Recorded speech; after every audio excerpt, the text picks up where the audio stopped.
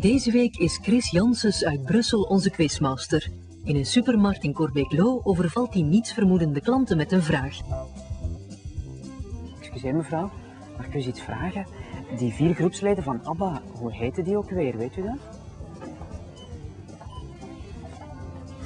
Een Agneta en een Benny, maar voor de rest weet ik de andere twee ken ik niet. Wacht, er is er één en die heet...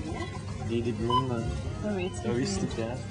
Oh, Allee, wat was de rol? hier, ik zeg, ik zeg, ik kan hier zeven Ja, die groep is toch ook zo oud, bijna? Ja. Oh, dat is allemaal goed. Ja. Die zag ik ook. Oh, je de andere. Björn, Agneta en wat was die, die vrouw, die andere vrouw? De blonde is Agneta normaal, hè? Is toch die voor een of andere televisie? Wel, u had 50 euro kunnen winnen. Ik heb dat gisteren of eergisteren op je In de quiz van Duizend Zonnen en Garnalen, want daar staat onze camera. Benny, Agneta, Frida en, en, en, en Bjorn, Bjorn, Bjorn. En Björn. Bjorn, hè, ja. Mevrouw Proficiat, u heeft eh, de wedstrijd van Duizend Zonnen en Garnalen voor vandaag gewonnen. En u krijgt 50 euro, want u heeft het, eh, want u heeft het juiste antwoord gegeven. U kan misschien meteen die cd van ABBA gaan halen als u... Alsjeblieft.